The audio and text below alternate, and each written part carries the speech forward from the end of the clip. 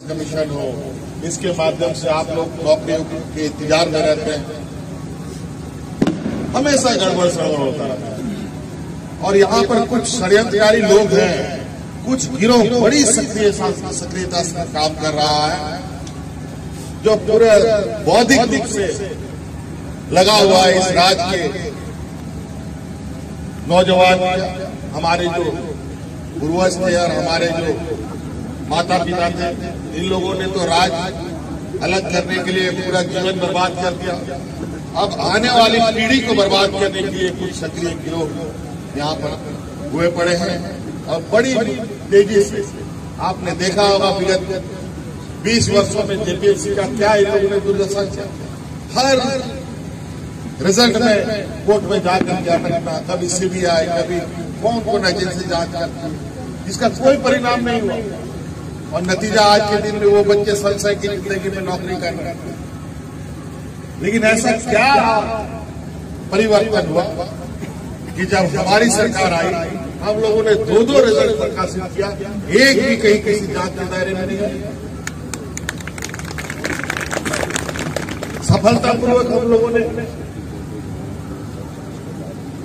उन परीक्षाओं को पार किया।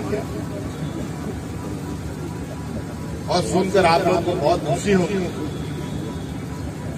ऐसी घटनाओं से दिल को कितना ठंडक पहुँचता है, ये मैं नहीं बता सकता, लेकिन मुझे तो बहुत सुकून मिला।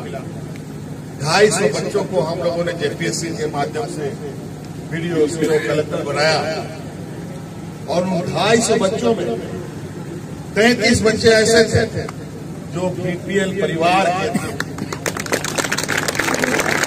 कोई मजदूर का बेटा था, कोई सेविका का बेटा, कोई जलसैया का बेटा, कोई किसान का बेटा। कभी आप लोगों ने ऐसी चीज़ों को सुना? आज पूरी ईमानदारी के साथ, पारदर्शिता के साथ, आज संस्थाएँ काम कर रही हैं।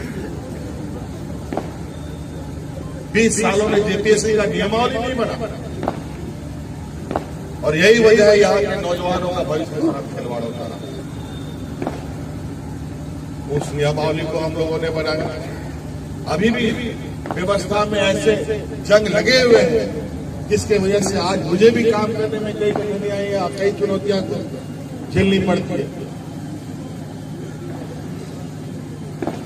और जब हम तेज़ी से काम करते हैं, जन कल्याण की काम करते हैं यहाँ विज्ञान की बात करते हैं। यहाँ S T S C OBC को आरक्षण देने की बात करते हैं। यहाँ सरना धर्म कोड की बात करते हैं। यहाँ के नौजवानों को स्वरोजगार के माध्यम से अपने पैरों पर खड़ा करने की बात करते हैं।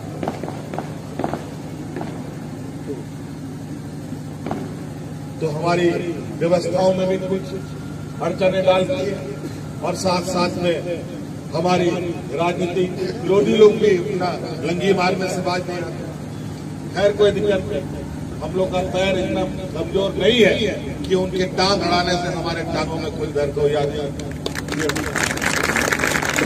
हम लोग खुद ही इन सब चीज़ों से, इन सब चुनौतियों से पार करते हुए यहाँ आज इनको बच नहीं रहा एक आदिवासी नौजवान।